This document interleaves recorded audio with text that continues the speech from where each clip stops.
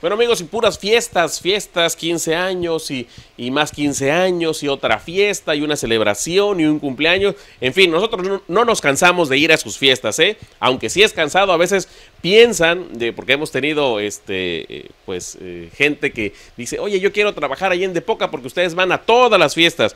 Le digo, sí, y ya vienen un día a trabajar en la fiesta y dicen, no, esto es muy cansado, esto no es para mí. La verdad que sí se cansa uno, ¿eh? Porque tiene uno que empezar muy temprano, la verdad que, este, pues los cinco minutos que pasamos aquí o menos de sus fiestas, bueno, es este, pues un resumen prácticamente de todo lo que se graba prácticamente en el día, porque acompañamos a las quinceñeras o a las novias a lo largo de ese día tan especial.